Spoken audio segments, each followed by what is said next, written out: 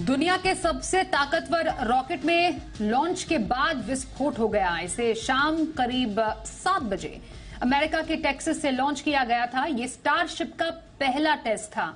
इससे पहले मंगलवार को भी इसे लॉन्च करने की कोशिश की गई थी, लेकिन प्रेशर वॉल्व के फ्रीज होने के कारण लॉन्च उनतालीस सेकेंड पहले ही रोक दिया गया। स्टेनलेस स्टील से बने स्टारशिप को दुनिया के दूसरे सबसे अमीर कारोबारी एलॉन मस्क की कंपनी स्पेस एक्स ने बनाया है।